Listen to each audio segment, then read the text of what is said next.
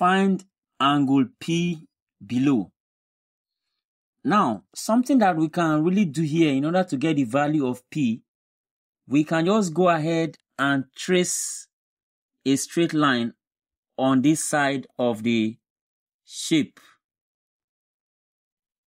And then once we have done that, you will agree with me that this is a point here and this is also a point here. Now, this line comes from this point and goes to the circumference. This line also comes from this point, goes to the circumference. From the same point, I have another line that goes to the circumference and another line that goes to the circumference. So it's like this chord now sustains, subtends an angle P at this point.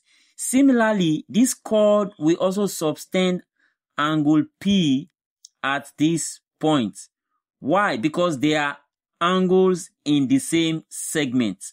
So when you have the same chord like that, suspending angles in two different triangles that go to the circumference of a circle, then the angles are equal. So this angle P is equal to this angle as well. So this place is also P. So now if you look at this line, this is a diameter now. This is a diameter, this angle that passes the center of the circle. So the diameter makes angle 90.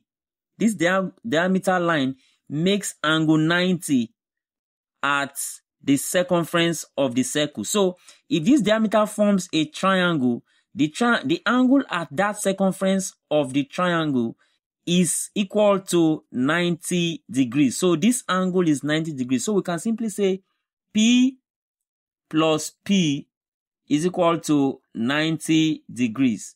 So this is because angle in a semicircle is right angle. So angle in a semicircle is right angle.